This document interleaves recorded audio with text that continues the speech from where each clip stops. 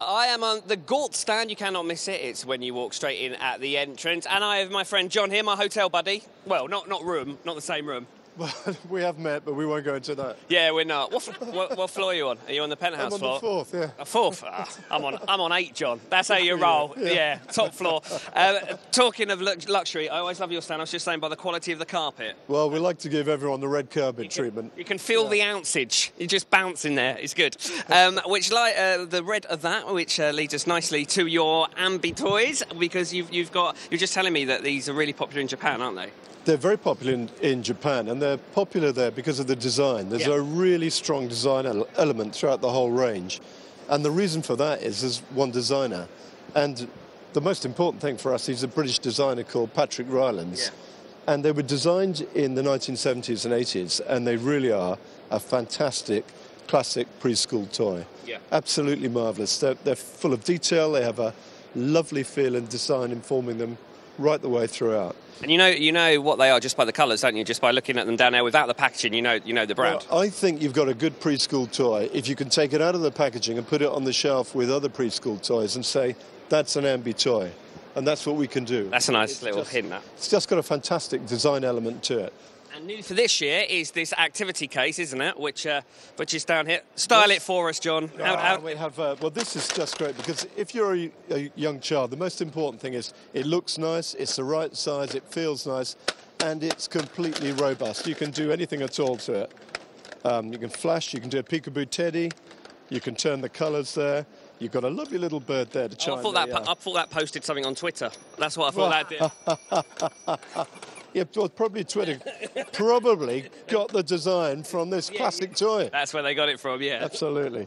So that's a superb little activity case at 15.99. Brill. Really good. Let's walk and talk because uh, also you've got something else down here, and also which will lead us to in a minute uh, what you were doing yesterday. It was quite exciting here. I'll tell you about that in a minute. Uh, but first, you've got um, you've got some stuff down here as well that, that is that you're. We have a, a Dr. Miriam range. So it's Dr. Miriam, the um, one of the UK's most trusted parenting experts, and so she's endorsed a range of products that we've done in plastic and in fabric and in wood. Yeah, I know. I remember when she was here a couple of years ago launching this, and what's really good about her products, uh, she's re- it's really into like the not just the educational, but kind of like the mindset of children, isn't it? And what and what makes them Oh, tick. It, it very much is, yeah, and it's very much about learning to play. And there is a school of thought that thinks that parents are a little bit distant sometimes, and certainly young parents, they don't know. It's not interacting with a child isn't so obvious Yeah. to some people, and, and a, you know a little help is, is welcome by many. Yeah, and moving on to here. Now, yesterday, hive of activity here yesterday morning. You had some uh, people we may recognise from Saturday evenings on Well, we BBC were- One. We were very lucky to have Kristina and Aliona here yesterday, two of the most famous and the most gorgeous girls on Strictly Come Dancing. Yeah, absolutely. And they went down a storm. We had a scrummer press, um, all advertising our sensational sequins dazzling dancer product.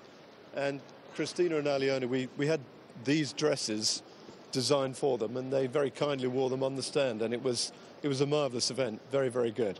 Very pleased. They look very good in the actual sequin dresses. I dare, I dare say you had to get them specially made a, a little bigger, bigger for, for, for kids, yeah?